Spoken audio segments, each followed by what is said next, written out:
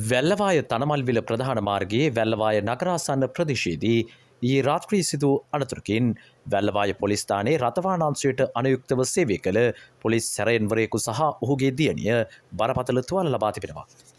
Police නිලධාරයා සහ ඔහුගේ දියණිය ගමන්ගත් යතුරු පැදිය කිසියම් වාහනයකින් හප්පා පලා ගොස් ඇති අතර එලෙස පලාගේ වාහනය සම්බන්ධයෙන් මෙවන විටත් වැදගත්තොරතුරු රැසක් පොලිසියට අනාවරණය වී තිබේ.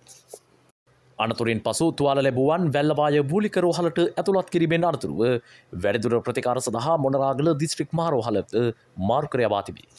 එහිදී බරපතල තත්වේ සිටි පොලිස් සැරෙන්වරයාගේ එක් පාදයක් කපා ඉවත් කිරීමට කටයුතු කර ඇති අතර මෙම අනතුර සම්බන්ධයෙන් වැල්ලවාය පොලිස්ථානය නිලධහරීන් විසින් ඉදිරි විමර්ශන සිදු කරයි.